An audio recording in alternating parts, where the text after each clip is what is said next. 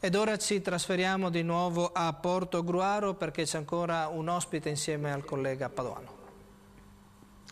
Sì, c'è Anto Angelo Tabero, chiedo scusa, la stavo chiamando Antonio, ma non Bertoncello. Comunque, Angelo Tabero, dunque, ehm, Bertoncello prima, il sindaco di Portogruaro, ha detto che l'incontro di oggi si è risolto con un nulla di fatto, cosa che lei può altrettanto confermare. Ma è chiaro perché cioè, Bertoncello non ha capito che il problema non è un problema di sedie, di poltrone, è un problema politico.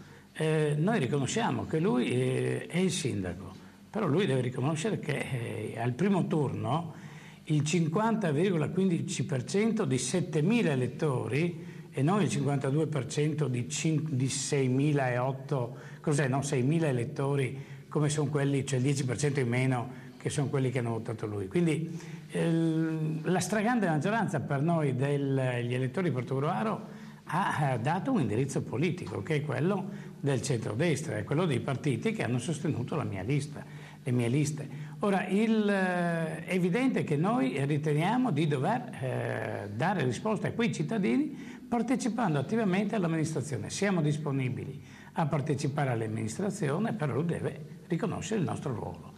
Noi Valuteremo adesso se tutto è bloccato, perché poi alla fine oggi tutto è bloccato, lui si è fatto la giunta senza giuramento, senza consiglio, quindi senza l'organo di indirizzo e di controllo, lui va avanti però mh, facendo piccole cose, ma questo è per colpa sua, perché loro hanno fatto i ricorsi al TAR e i ricorsi al Consiglio di Stato. Senta, ma il fatto il che il Comune l'attività sì. si afferma, questo si ripercuote, non so, sulle aziende, sulle attività commerciali, su chi magari deve chiedere eh, l'ampliamento sì. di un'abitazione oppure l'acquisto di un terreno? Probabilmente si ripercuote sulle promesse che il sindaco ha fatto in campagna elettorale e che non potrà mantenere perché in questo periodo non ha gli strumenti per mantenerle. Non credo che incida oggi come oggi sulle aziende in quanto la politica vera comincerà a settembre e in quel momento credo che eh, tutti noi valuteremo anche gli strumenti per garantire la governabilità del Paese, ma nell'interesse dei cittadini e del voto espresso dai cittadini. Ringraziamo dunque Angelo Tabaro per il suo intervento, la linea alla redazione centrale, grazie. Scusa, volevo intervenire io facendo una semplice domanda a Tabaro.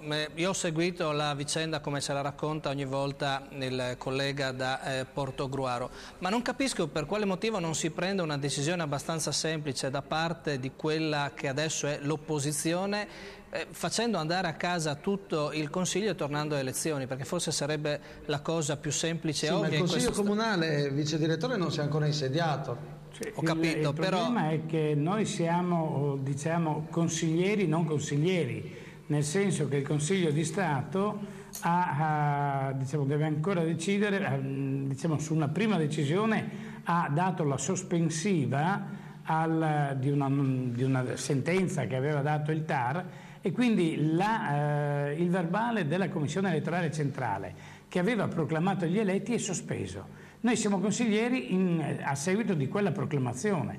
Essendo sospesa quella proclamazione noi non possiamo fare nessun atto da consiglieri finché non viene riconfermata la validità di quella proclamazione. E tutto questo dipende dai ricorsi al TAR e al Consiglio di Stato che ha fatto Bertoncello e, e, i suoi partiti, perché noi non li abbiamo fatti noi i ricorsi. Chiaro, bene, è stato molto chiaro, quindi ha tolto anche questo, questo minimo dubbio che eh, restava a chi come me da Pordenone segue la vicenda tra virgolette di rimando e quindi magari qualche passaggio non era ancora chiaro. Grazie ancora al nostro ospite, grazie a Rosario Padovano, andiamo avanti ancora con le notizie.